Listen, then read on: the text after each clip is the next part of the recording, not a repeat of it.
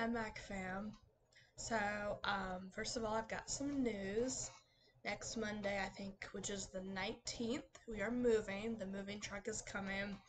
So, I will definitely be making a video, um, but like the day before or before that, just to let you guys know, I might not make a video for a while just until I can get Wi Fi and get settled.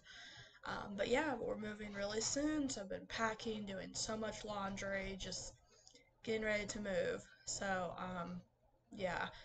So, yesterday was our last Sunday at the church. They had a reception.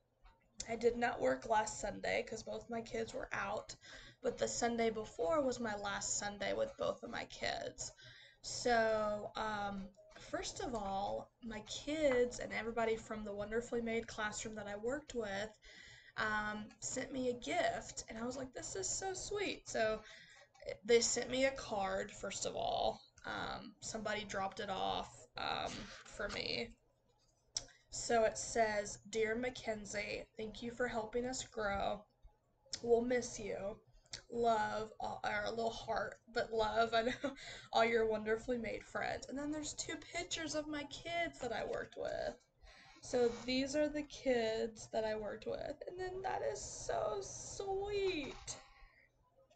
Oh, that is so sweet. that made my day. So they didn't have to do that, but they wanted to. And then they got me this um, acrylic serving tray. I think that's what's in here. I'm not gonna open it because we're about to move, but um, I'm thinking that's what's in here. But that was so nice of them. So yeah. And then a lady I ran into yesterday at the church, she was like, I have something for you. So somebody got me another gift. I was like, oh my gosh, you are so sweet. So um, she got me this little angel, and it says friend, um, and then it says, you'll always have a place in my heart. Isn't that so sweet? So that's where it says friend, and it says you'll always have a place in my heart. Little angel. That is so cute. I love that so much. So, yeah. Um,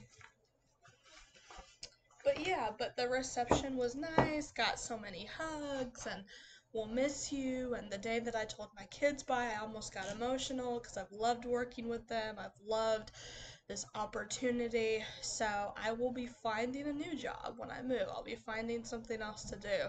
So, um, yeah, but, um, Alrighty, well I wanted to make this quick video. If you liked the video, give it a thumbs up. Subscribe down below if you have not already. Always keep your head up, and I'll see you guys next time. Bye.